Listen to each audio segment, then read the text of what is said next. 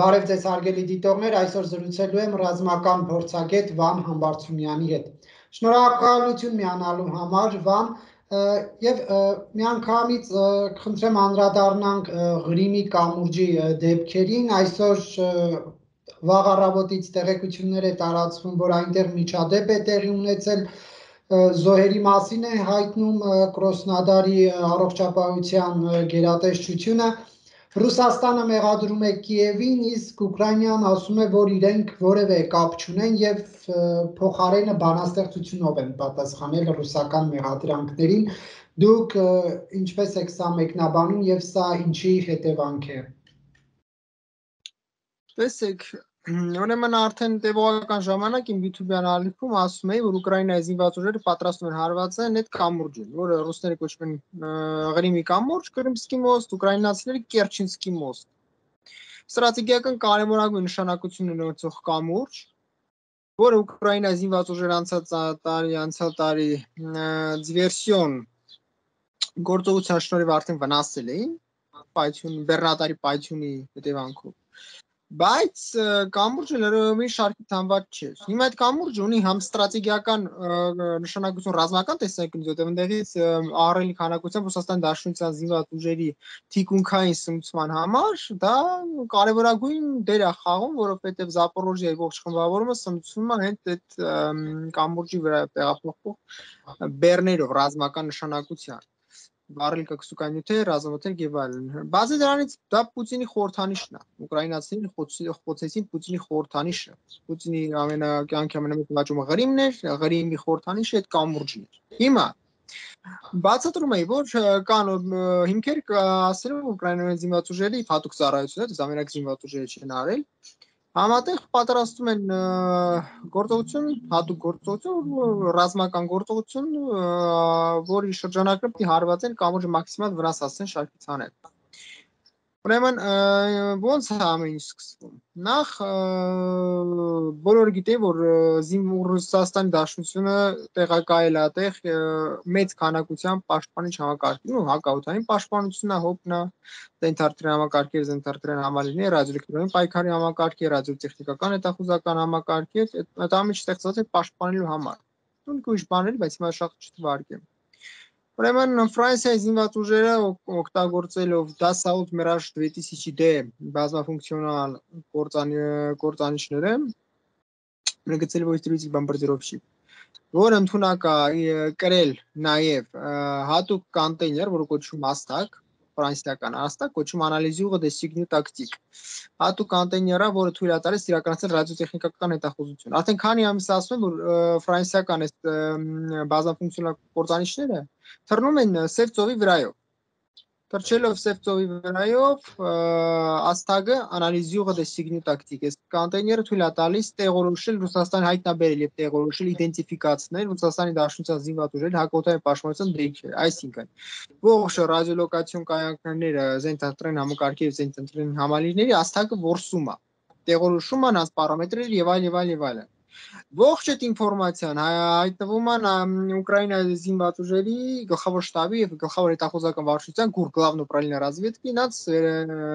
տիրապետության տակ։ Բացի դրանից Ամերիկայի միացյալ նահանգները անընդհատ սև ծովի վրայով էլ եւ ոչ միայն Ռումինիայի վրայով թռչելով, Բուլղարիայի վրայով թռչելով ուրեմն օթին բարձացնում RC135 W Raven Joint հատուկ նշանակության ստրատեգիական ինքնաթիռներ это самолет стратегической радио радио и радиотехнической разведки, որը նույն բանն անում, բայց ավելի մեծ մասշտաբի, սա արդեն թռնում է թե Սեփտոյի վրա, թե Ռումինիայի վրա, թե Մոլդովայի, նրանց հզորությունն է, որ Ռումինիայի վրա թռչելով թույլ է տալիս այդտեղ տեղորոշել ինչ կա, ինչ ռուսներն ինչ ունեն։ Ըստ դրա Ուկրաինայի զինված ուժերը մանրամասն պլանավորում են այդ գործողությունը։ Ու ինչ են անում։ Բացի դրանից, ես ասում եմ, որ հատուկ ստրատեգիա է կիրառվելու, որ թույլ կտա հաղթահարել, որտեղ ռուսները շատ ուժը հակաօթային տեղորոշել մի բան է, տեղորոշել Ռուսաստան Դաշնության հակաօթային պաշտպանության դիրքեր եւ այլ եւ այլ։ Մի բան է։ Խոցելը, հաղթահարելը մի բան է։ Ինչ են անում ուկրաինացիները։ Ուրեմն Ղրիմում Ուկրաինայի հետախուզության ենթարկող տարբեր պարտիզաններ, ասենց ասեմ, որոնք համակրում են Ուկրաինային, բայց ապրում են Ղրիմում, նրանք նրանց ասենց ղեկավարում Ուկրաինայի հետախուզություն հատուկ դրոններ են բարձրացնում մոտ որը որ ինձ վրա տեղական շատ էժան դրոններ ասենք երբեմն даже կարելի ասել ինքնաշեն բան AliExpress-ից առած բան կարճ շատ էժան տիպի դրոններ իսկ կարելի ասել одноразовое применение Դրոնների վրա դրած ալին ուղղալկով է отражатель, որոնց վրա Լենիզա Լյումբերգը, որը թույլ է տալիս այսքան դրոնը ռադիոլոկացիոն դիապազոնում պատկերել որպես ստրատեգիական ռմբակոծիչ կամ գրուիչ կամ կործանիչ եւ այլն, կախված է ինչ չափի, ինչ տիպի ուղղակով отражатель է դնում կամ Լիզա Լյումբերգը։ Ռուսական հակաօթային պաշտպանության ստորաբաժանումները սկսում են արդեն խառնվել իրար շփոթել, որովհետեւ Ռուսաստանի Դաշնության զենիթարտրային համակարգի զերծանրային համալիրների օպերատորները, որոնք նստած են ռադիոլոկացիոն կայանքների էկրանի առաջ, նրանք խառնվում են իրար, որովհետև создается сложная фоноцелевая обстановка համ կեղծ թիրախներն են թռնում, համ թռչուններն են թռնում, համ ռուսական ռազմաօթային ուժերն են թռչում, պատկերացնում եք, չի, ստեղծում է շատ դժվար միանգամից ոնց գիտեք, հարյուրավոր թռչող օբյեկտներ, ստեղծում է շատ բարդ իրավիճակ։ Բայց ռուսական հակաօթային պաշտպանության ստորաբաժանումը սովորել են սրանք հաղթարել, որովհետև սրանք ցածր արագության վրա են թռչում, ու ռուսները սրանք էլի տարբերում են։ Բայց ես էլ ամեն ինչի։ Սև ծոյ վրայով Ուկրաինա ռազմաօթային ուժերին պատկանող Միկայել Գուրևիչ MiG-29 զելեզի տրնած Պուկասկաս նատոկում 4-րդ կորցանիչները, որոնք արդիականացվել էին որպես Ամերիկայի Միացյալ Նահանգների արևմտյան մասնագետների կողմից որպեսի ունակ լինեն կրել արևմտյան արտադրության տարբեր նշանակության տիպի ռազմամթեր օթեն բարձրանում եւ բաց են թողում հատուկ կեղծ թիրախներ որոնք ամերիկյան արտադրության են։ Վեր նորագույն սերնդի։ Սրանք արդեն այս կեղծ թիրախներ թռնում են մինչև 900 կիլոմետր ժամանակությամբ։ Высокая дозвуковая скорость։ Եվ այն ձև են թռչում այն ինքնք թեվավոր հրթիռի չափ են, yani по масса габаритным характеристикам и по скоростным характеристикам, по маневренным, по маневренности траектории полета։ Իրանք շատ նման են իրոք իսկական թեվավոր հրթիռների Նաև ռազմական ինքնաթիռն է կախված այնից թե թռիչք ստարոց ինչ ես ուզում, որ ինքը իմիտացնի։ Ինք կարա թե որ օրտիր իմիտացնի, ինք կարա։ Այս շատ կարևոր հիմա կասեմ, ինք կարա հիմնավոր են պատասխանում, որ կասեն ինչա կնդեղ կատարվել որտեւ մենակ ստորգեյտն ստոր բանը ջրային դրոններ չեն օգտագործել, էլի ոնց որ հիմա ընդունված է ասել, ես ուղղակի հիմա կներկայացնեմ ինչա եղել։ Ուրեմն խոսքը դնում է ADM 160-ի MALG, MALG կոչվում է miniature aerolanche display jammer թիրախների մասին, որոնք ունեն турбореактив շարժիչ։ Հենց այս բաց է թողում, ասենք, իր ինքնաթիռից կրիչից, то есть самолет носителя։ Միանում է իր շարժիչով մինչև 900 կմ ժամանակություն կարա զարգացնի։ Բացի դրանից, սրա մեջ դրած է ռադիոէլեկտրոնային պայքարի համակարգեր։ Ինքը իմիտացնում է ռազմական ինքնաթիռ ամեն ճնշում է ռադիոէլեկտրոնային պայքարի համակարգի միջոցով հակառակորդ ռադիոլոկացիոն կայանքները, այսինքն ռուսների համար շատ մեծ դժվարություն է ստեղծվում։ Բացի դրանից, Ուկրաինա ինքը կարա թռչի թե 50 մետր բարձրության վրա, թե 9 կիլոմետր բարձրության, այս ոնց է ծրագրավորում։ Ռուսները սրա ուղակի չէին կարա չտարբերեն իրական ռազմական ինքնաթիռներից կամ թեվավոր հրթիռներից։ Բացի դրանից իր տրայեկտորիան դու ընտրում ես, ինքն ոնց է թեվավոր հրթիռներն ուկրաինացիները միշտ ընտրում են այնց որ հա, շրջանցի ռուսական հակաօթային պաշտպանության դիրքերը, չէ, այս տրայեկտորիան փոխելով։ Նույնն էլ սրանք են անում։ Ռուսները կրակ են բացում իրանց զենտարտրեն համակարգերը, որ չեմ ուզում թվարկել, ձեր եթե շատ չծանրաբեռն եմ։ Իրանց զենտարտրեն համալիրներով, զենտարտրեն համակարգերով կրակ են բացում այս կեղծ թիրախների վրա։ Սա ինչի է կարևոր։ Օրինակ,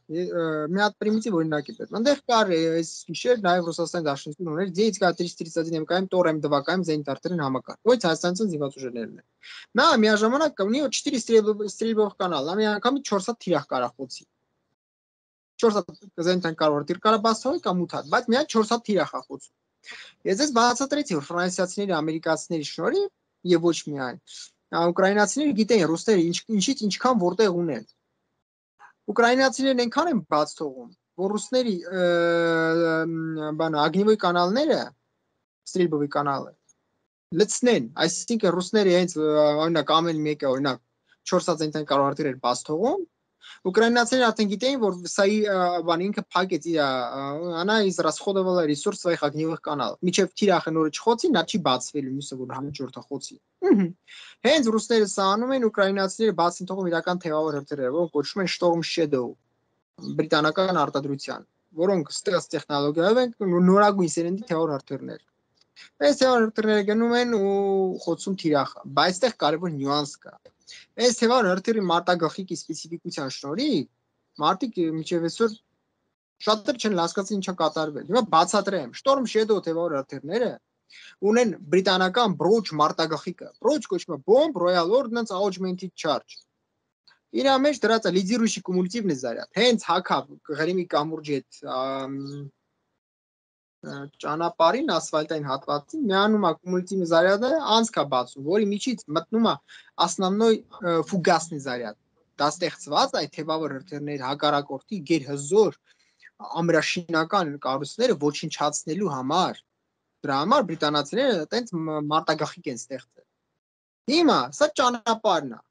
կպավ թեվավոր հրթիռը, աշխատեց կումուլյատիվ զարյատ, տանցք բացեց։ Մեջից անցավ թեվավոր հրթիռը տակը պայթեց Դավար մարդիկ շատերը խառնում են մտածելով, թե մենակ դրոներ չես, դրոներ են օգտագործվել։ Միաժամանակ բանը, այդտեղ աշխատել է Украина զինված ուժերի 73-ի Морской центр специальных операций, այդ բանը, դա ուկրաինսկի боевые пловцы, морские котики Украины, կամ боевые пловцы Украины։ Ուկրաինա ռազմածովային ուժերի հատուկ նշանակության զորքերն է։ Այն նրանք են մասնակցել դրոներով։ Ինչի շնորհիվ միաժամանակ Հիմա ասեմ, բավական լուրջ վնաս հասցվել ինֆրաստրուկտուրային այդ բանին կամուրջի մի պալատն ընդհանրապես ընկելա ջուրը, բայց իրա նիսուշեք ապորաները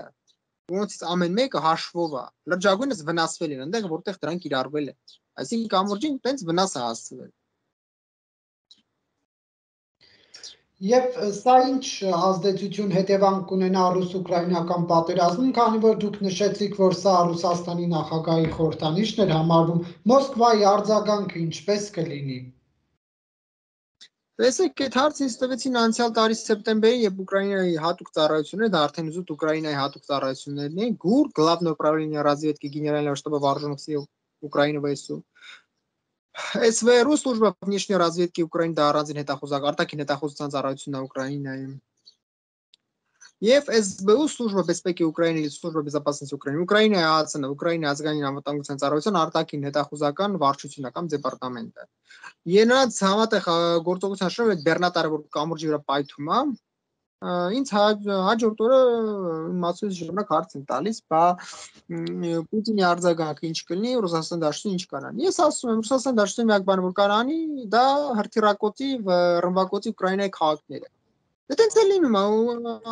ինչ ասեմ, հաշվա ժամեր, հետո 2-3 օր շարունակ հրթիռ հրետանակոծվում են Ուկրաինայի քաղաքներ։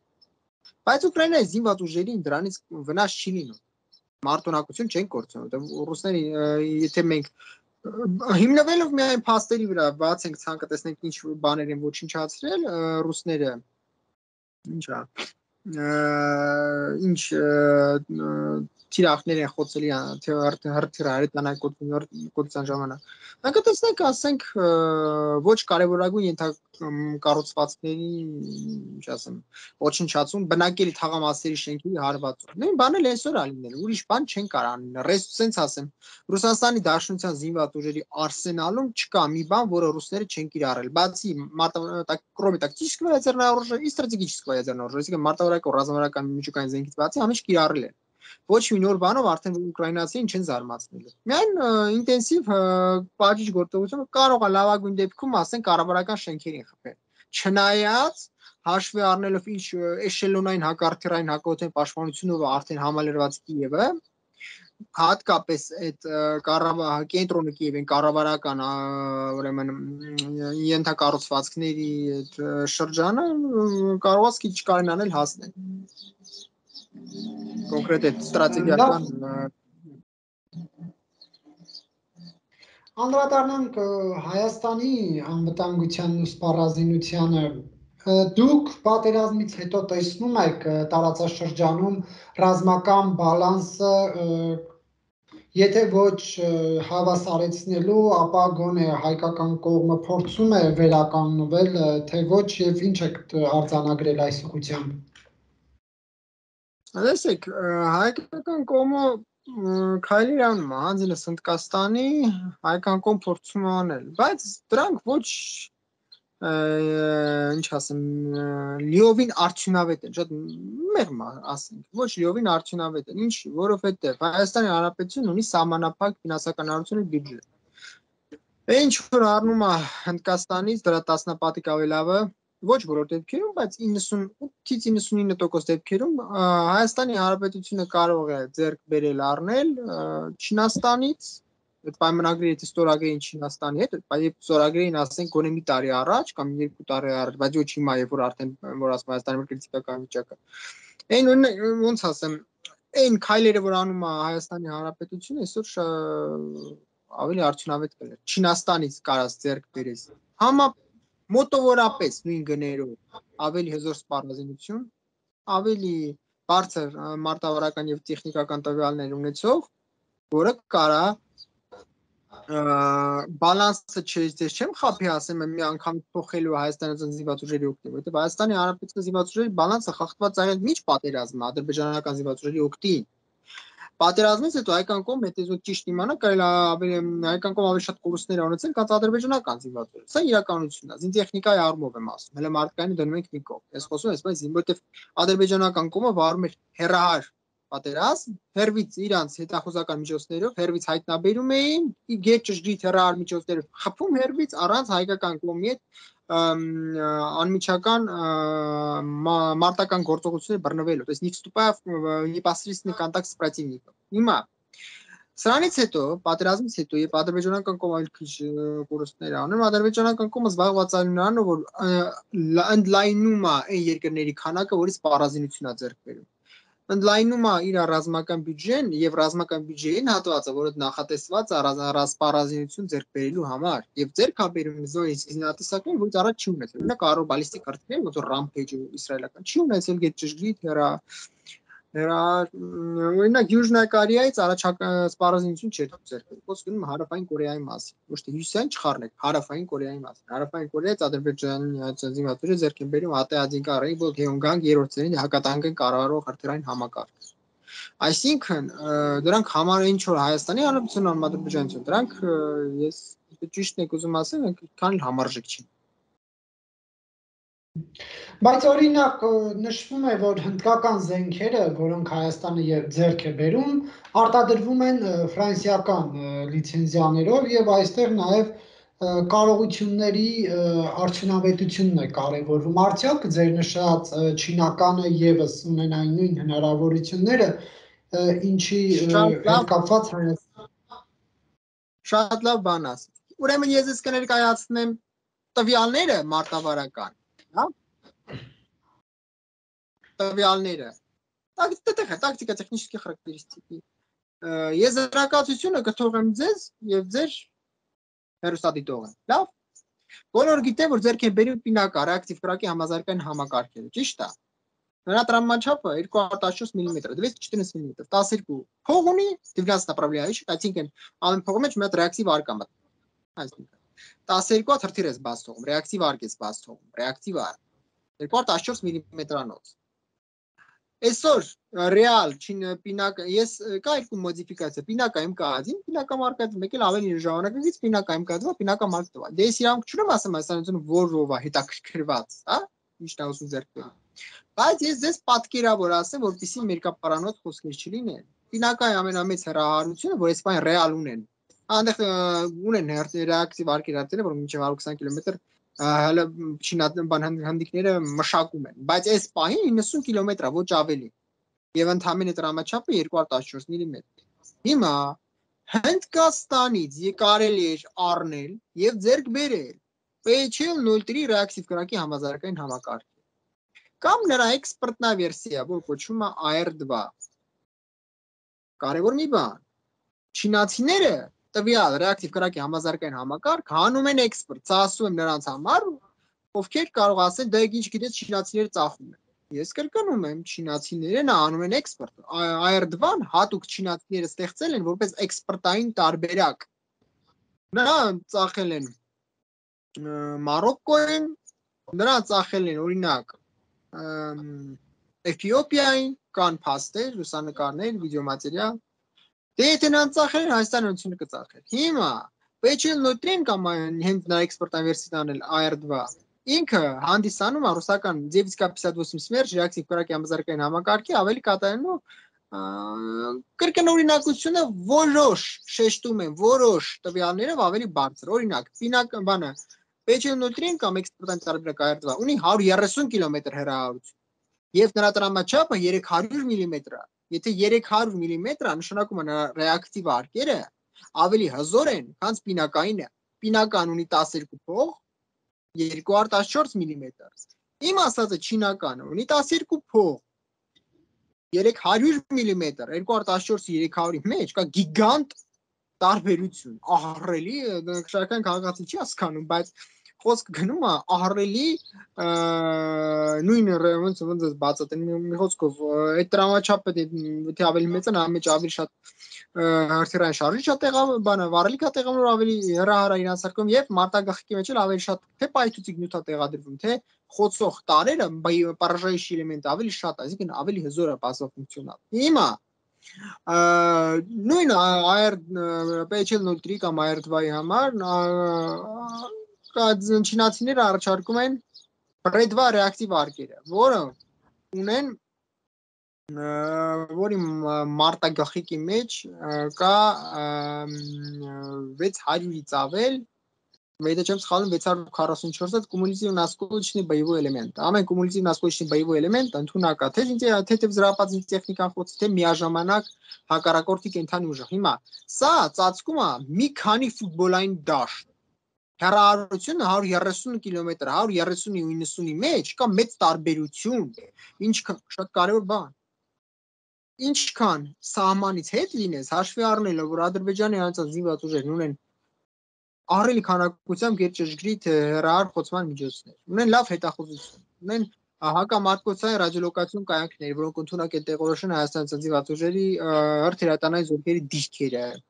Էլ չեմ ասում հետախուզարարության անթարթրճող սարքերը, բարաժողովի բույպրիպաս, դրոնիկամիկաձե։ Սրանք որս են սկսում Հայաստան այդ մարտական մեքենաների նկատմամբ կան կադրեր, որտեղ Լեռնային Ղարաբաղում եւ իսկապես հատվում սմեր ռեակտիվ քաղաքամասարական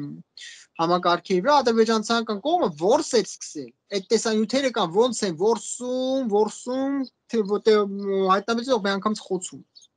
Հետևաբար, ինչքան հեռու լինես սահմանից, այնքան ավելի լավ։ Հեռու լինելու համար դու է մաքսիմալ հեռահարություն ունենաս։ Հիմա 130 կիլոմետրի 90-ի մեջ կա ահռելի տարբերություն։ Այս ռեակտիվ կրակի համազարգային համակարգերը կիրառվում են գոնե, գոնե, գոնե 15 կիլոմետր սահմանից հեռու, ամենառնվազնն եմ ասում։ Եթե այսինքն կամ գոնե 10 կիլոմետր։ Հիմա, եթե պինակայի 90 կիլոմետրից 10 կիլոմետր մենք հանում ենք իրան մտցնում Հայաստան հայկական զորքերի թիկուն, որ սահմանից հեռացնենք, չէ՞, տակը մնում է 80 կիլոմետր քեզ որպիսի որպիսի դու հակառակորդի տարածքները, օբյեկտները խոց 80 կիլոմետր ընդամենը, բայց դե ադրբեջանական կողմի շատ կարևոր ինֆրաստրուկտուրայի մի զգալի մաս 80 կիլոմետր շատ ավելի հեռու է։ Այսինքն քո խոցումից հեռու է, բայց եթե մենք խոսում ենք չինականի մասին PHL 03 AR2 նա 130 կիլոմետրից հանի 10 կիլոմետր քեզ կմնա 120 կիլոմետր պատկերացրի ես ես ընդամենը մի բան բերեցի կարանք խոսենք ինքնագնաց հրետանային կայանքների մասին էլի ձեր եթերը չեմ ուզում ուղղակի ծանր մանրամասն կարող եմ դերեմ բացատրեմ որ ինչի է չինական ավելի լավ է Անդրադառնանք Ֆրանսիայի սենատի նախագահի հայտարարությանը 14-ին հուլիսի հայտարարել էր որ պահանջում եմ արագացնել Ֆրանսիայի կողմից սպառազինությունների մատակարարումը Հայաստանին, ասել էր Սենատի նախագահը եւ շեշտել, որ կա անհրաժեշտություն ապահովելու Հայաստանի անվտանգությունը։ Սա ինչ մատակարարումների մասին է եւ ինչ մատակարարումների մասին կարող է խոսք գնալ ՆԱՏՕ-ի անդամ պետությունից ՀԱՊԿ անդամ պետությանը տեսեք մի կարևոր այստեղ մի քանի կարևոր դրվագ կա։ Առաջին մենք չենք կարող մանրամասն խոսենք ինչի մասն է խոսքը գնում։ Դա չի կարելի։ Պետական գաղտնիք է։ Մենք կարանք ենթադրենք, Ես ես կարամ ներկայացնեմ ինչ կարա Ֆրանսիան մատակարարի Հայաստանի Հանրապետության։ Այստեղ կա շատ մեծ մի հատ նյուանս։ Նյուանսը կայանում է նրանում, որ Ֆրանսիայի Հանրապետությունը առելի քանակության աջակցություն է ուղարկում Ուկրաինա։ Իսկ Ֆրանսիայի ռեսուրսները անսպառ չեն։ Ավելին, ամբողջ ՆԱՏՕ-ի ռեսուրսները որ Ուկրաինային զինում ոնց ասեմ, սպայն շատ զգալիորեն, ոնց ասեմ, ոնց զգալիորեն ոնց մեղմ ասեմ, հյուսում են ապրում, հասկանում եք։ Այս ես մի բարձ բան ասեմ։ Ամերիկա ամբողջ ՆԱՏՕ-ն այնքան 155 ու 105 ու 155 մետոսերտանային արկերա մատակալ, որ արդեն իրանց զինվաճառերում կտրուկ արդեն նիխվատկա է։ Հիմա միաժամանակ Ուկրաինայում պատերազմն ավելի է թեժանում։ Ուկրաինայի հակարցակումը ավելի թեժ փուլի մեջ է մտնում։ Այս ֆոնին միաժամանակ ինչքան կարա Չինաստանի Հանրապետությունն այլ Հայաստանի Հանրապետությանը օգնի։ Սա այլ հարց է։ Սա այս նյուանսը մենք պետք է հաշվի առնենք։ Բայց Եթե Ֆրանսիայի Հանրապետությունը օգնի Հայաստանին, դա շատ գիգանտ քայլ կլինի, որտեղ Ֆրանսիան ունի գերհզոր ռազմաարդյունաբերություն։ Ֆրանսիայի օրինակ, Ֆրանսիան նույնիսկ օրինակ ոնց օրինակ մի մանեմ Միացյալ Արաբական Էմիրություններին վաճառել իր հրանոթային հիմնական մարտական տանկերը IMX 56 Leclerc Tropic, Tropic էքսպորտնայ վերսիան։ Հիմա դե կարա Հայաստանի Հանրապետության օրինակ 40-ից 50 հատ, դա Հայաստանի որ գիգանտ տարբերություն է։ Աշխարհի լավագույնից մեկն է հրանոթային հիմնական մարտական տանկերը, դա որ ամենաթան Ֆրանսիան արտադրում է հետևակի մարտական մեքենաներ, նույնիսկ անվային, օրինակ BBC IVQ Big Combat Infantry։ Ֆրանսիան ամեն տես արտադրում է թրթուրավոր զրապատ ամենագնացներ, հետևակի մարտական մեքենաներ, հրաձգային զինատեսակներ, հակաօդային պաշտպանության միջոցներ, կորցանիչներ, աշխարհի լավագույններից մեկն է, օրինակ ֆրանսիական այսօր դա South Rafale C կորցանիչ օրինակ մոդիֆիկացիա F3 աշխարհի լավագույններից մեկն է։ Ֆրանսիան ունի գեր հակատանկային կառավարություն, եթե քեզ պետք հակատանկային պաշտպանություն, հակառակորդ տանկային զորքերից պաշտպանվելու համար չի կո դիրքերը։ Ֆրանսիան ունի գինիա հակատանկային կառավարության համակարգեր։ Օրինակ Ակերոն MP, Ակերոն Moyen Port է։ Դրա առաջ կոչվում էր MP, Missile Moyen Port է, сейчас հիմա կոչվում Ակերոն։ Բայց դրանք բոլորը չի տալու Հայաստանին մի րոպես էլ ասեմ, տեսեք, Ակերոն MP, Ակերոն Moyen Port է, հակատային կառավարության համակարգեր, որոնք Ուկրաինայում գիգանտ ընդ որում ասեմ, այս Ակերոն MP-ն Spike-ի ֆրանսիական տարբերակն է։ Spike-ի, օրինակ Spike L-ի համարժեք, բայց Նախ առաջինը Ուկրաինան են բոլոր ուղարկում, արդեն Ուկրաինա ինքան ուղարկել, որ արդեն ֆրանսիացիները, ինչ ասեմ, չեմ կասկածում եմ, որ կան Հայաստանի վրա արտադրեն։ Երկրորդը ծրի չեմ կարծում, որ Հայաստանին կտան։ Եվ երրորդը ամեն դեպքում ՆԱՏՕ-ի անդամ երկիրը որքանով Թուրքիայցան վետոյի հարց կա, բան կա, չնայած հաշվի առնելով որ Թուրքիայցուն Ֆրանսիայի հանրապետությունի այդ լրջորեն խնդիրների մեջ է Լիվիայում, սա իհարկե իր բանն ասում է։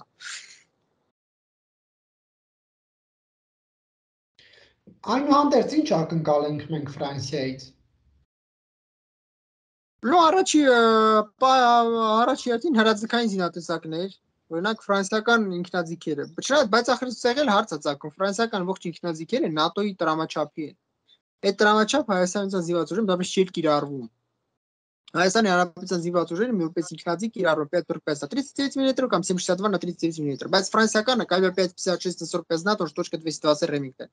Հիմի ֆրանսիական Ֆրանսիա ինքնաձիգերը, ասենք Հայաստանում ավտոմատները ինչքան կինտեգրվեն, ինչ կարելի է ակնկալել, կարելի է ակնկալել, ինչ ասեմ, զրապատ ամենագնացներ, ու ոնց որ սկզբից Ուկրաինային են մատաղ, դա կարա անի։ Դրանից բավական մեծ քանակ կա տարբեր տիպի ինժեներական զինտեխնիկա, կապի միջոցներ, դրանց այս բաներ հաստատ կարելի է ակնկալել։ Բայց այն ծանր բաների մասին ես կարայի խոսեմ, եթե չլիներ ուկրաինական պատերազմը, մենք կարայինք նստենք ու քննարկենք ինչքանով է հավանական։ Բայց Ուկրաինայի պատերազմի ֆոնին դա չեմ մի քիչ քիչ հավանական է, էլի։ Չնայած շատ կուզենայի։ Մենք հետևում ենք հայ-ադրբեջանական բանակցություններին եւ տեսնում ենք, որ սեղանի շուրջ կողմերը 3 առնվազն 3 սկզբունքային հարցերի շուրջ չեն կարողանում համաձայնության գալ, դա սահմանների դեմարկացիան եւ դելիմիտացիան են, դա Արցախի ժողովրդի իրավունքներն ու անվտանգությունն է եւ Ստեփանակերտ Բաքու երկխոսության մեկնարկն է Եվ սրան զուգահեռ խոսվում է բանակները զինելու մասին, Ալիևը մոտ 10 օր առաջ ասում էր, որ ադրբեջանական բանակը համալրվել է ģեր ճշգրիտ զինտեխնիկայով, որոնք տեղին խոցումներ են իրականացնելու։ Այս կանով հանդերձ, երբ մենք ճունենք բանակցային սեղանին առաջընթաց, ինչքանով է հավանական ռազմական էսկալացիայի վերսկսում է եւ դա ոչ թե տեղային դիրքային մակարդակով, այլ ինչպես օրինակ սեպտեմբերյան մարտերն էին, քան որ տեսնում ենք, որ բարբերաբար դիրքերում մենք ունենում ենք խնդիրներ։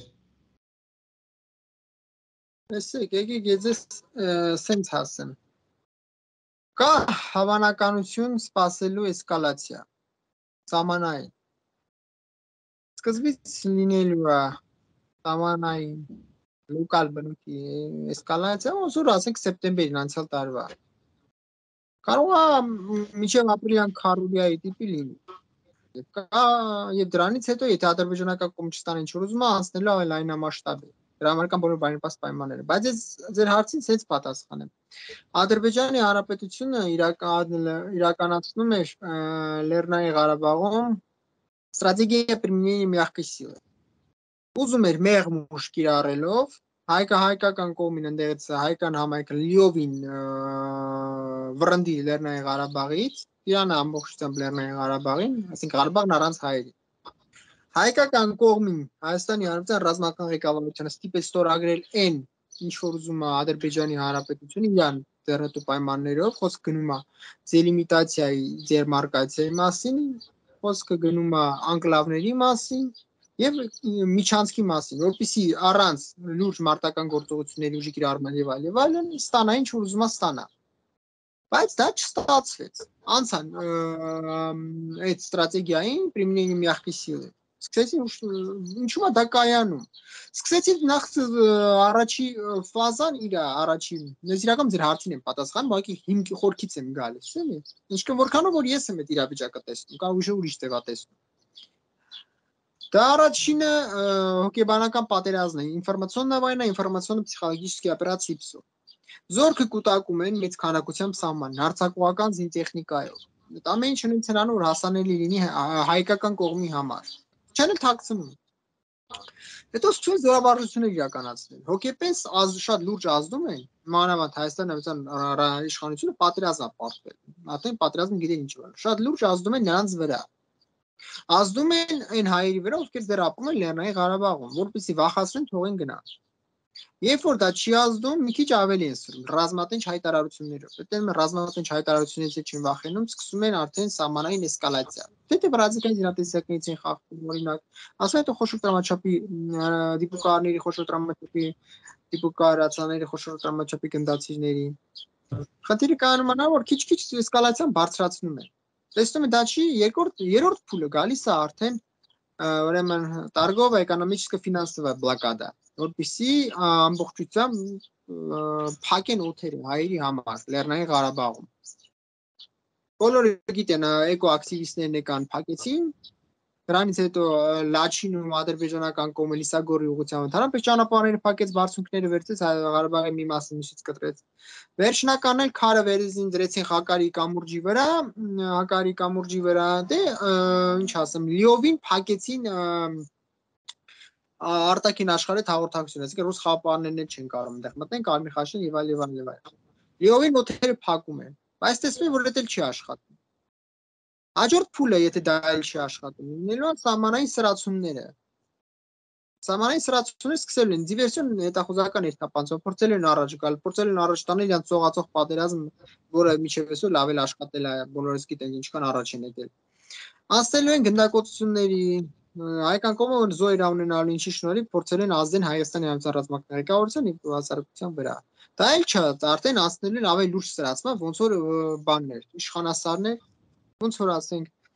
անցած տարի սեպտեմբերին որս գիտենք ինչ կատարվեց կամ ապրիլյան քարոյայի մասշտաբի դա էլ եթե դրանով էլ չստանան ինչ որ ուզում են ասնել լայնամասշտաբ պատերազմ սա իրանց մոտ ծրագրավորված է հերթով փուլերով այս փուլում են չեն ստանա ուրեմն էմպտի ստանա որովհետև ադրբեջանական կողմի համար ստեղծվել է նախ առաջին ախորժակը մեծացնել, երկրորդն էլ ստեղծվել է բարենպաստ պայմաններ ստանալի ինչ որ ուզում ստանա։ Իսկ ուզում ստանա ավելին, քան երազել ամբողջ Լեռնային Ղարաբաղն առանց հայերի։ Միջանցք, որի մասին առաջեր էլ երազում, անկլավները, ընդ որում անկլավները Հայաստանը ծնում են ներկայացնում ստրատեգիական էգզիստենցիալ մեծ վտանգ, որտեղ անկլավների ստվերցնելով միջով անցնում են միջպետական կարևորագույն ճանապարհներ։ Հայաստանը մի կես միշտ կտրվում է։ Եվ դեմարկացիան, դելիմիտացիան ասում ադրբեջանական ուզածով, այսինքն բոլոր սահմանամերձ բարձունքները եւ այլ եւ այլ եւ այլն, ընդ որում որի տակով ասում է կարևորագույն ռազմավարական նշանակության ճանապարհները։ Ցախ վերցնում ադրբեջանական կողմը, այսինքն ինչ որ դելիմիտացիա, քարտ նստում են երկու կողմը քարտեզի իրա որոշում են, դեմարկացիաները ուղղում տեղում է, դա ինչ իրականացնում։ Իրանք ուզում են իրանք ուզածով այդ ցախ լինի։ Որպեսզի այդ լինի, հայկական կողմը լիովին ջարդեն, լիովին որ ասում է, ուստախապանեն։ Իսկ Հայաստանի Հանրապետությունը այսօր մնացել է մենակ Այսինքն սա ռազմական դաշնակիցը նախ չի աջակցում։ Եթե ուզեն աջակցի ինքնա պատերազմի չի հարցի չկարողություն չի։ Այսինքն մենակ է մնացել։ Ադրբեջանը հետև կանոնացա Թուրքիայի Հանրապետությունը եւ ոչ միայն։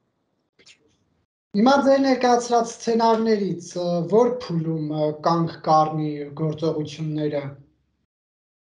Կախված է նրանից հայկական կողմը որքանով է վճռական դիմակայել հարվածներ։ Եթե հայկական կողմը հենց հիմա ձերքեր վեր բարձրացնի, հենց հիմա կկանգնի ամեն ինչը։ Դա կախված է հայկական կողմից։ Ես ես ասեցի, ոչ թե կարող այս, կարող այն, կարող այն, կարող այով չի, այս ամեն ինչը կիրառելու են իրանք։ Որ փուլում հայկական կողմը կջարդվի, այդտեղ կկանգնի։ Հարց հայկանից չի, իրանք պլանավորել են միջև ռազմա, ասիկա ես ինչի եմ ասում, ես ունեմ հիմքեր տենց մտածել, այն առելի զոր մի խոսքով այդ առելի սպառազինությունից կենթանի ուժով զինվորի ծառայող այդ ամիջը կուտակել են սահմանին, դա հենց այնպես չեն անում Պարզ հասնելու են միջև այդ, միջև լայնամասշտաբ պատերազմի գնալու են։ Կախված նրանից հայկական կողմ ինչքան դիմացկունություն ցուցաբերի եւ կգտնի արդյոք այս աշխարհում դաշնակիցներ թե ոչ։ Շնորհակալություն զրույցի համար։ Ես եմ շնորհակալ։